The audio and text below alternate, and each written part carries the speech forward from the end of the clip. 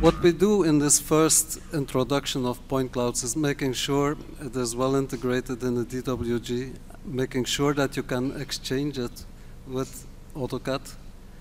Um, also, making sure that, for instance, a section plane, if I activate my section plane, that it cuts away your point cloud.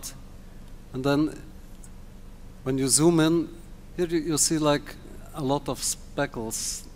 And what it actually is, it, this is space where nothing has been measured, where, where there is no point. So you, you're looking into space.